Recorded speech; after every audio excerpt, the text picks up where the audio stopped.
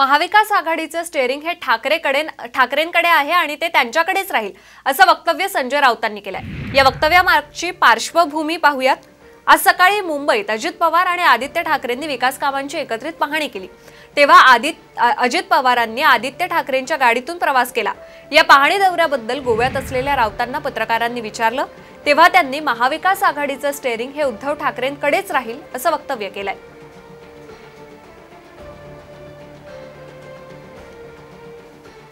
हीच तर खरी भारतीय जनता पक्षाची कळ आहे ना.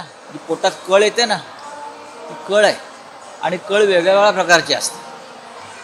त्यांना कळ ती त्यामुळेच येते की प्रयत्नांची पराकाष्ठा करून दाब दबावाचं राजकारण करून धमक्या दहशतीचं राजकारण करून सुद्धा महाविकास आघाडीला तडा जात नाही.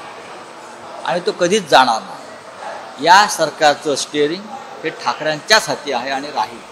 हीच तर खरी भारतीय जनता आणि याविषयी अधिक माहिती देण्यासाठी आमच्या प्रतिनिधी रश्मी पुराणिक आपल्याबरोबर आहे.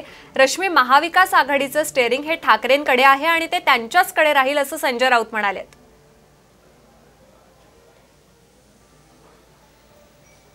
नक्कीच संजय राऊत यांनी कुठेतरी एक सूचक विधान केलं आहे असंच म्हणावं लागेल. कारण आज सकाळी आपण जर बघितलं तर स्वतः आदित्य ठाकरे जे आहेत ते उपमुख्यमंत्री अजित पवार यांना ड्राईव्ह करत मुंबईचा जो दौरा झाला ते बघण्यासाठी ते घेऊन गेले होते. आपण जर बघितलं असेल गेल्या काही दिवसात आदित्य ठाकरे आक्रमक झालेले आहेत.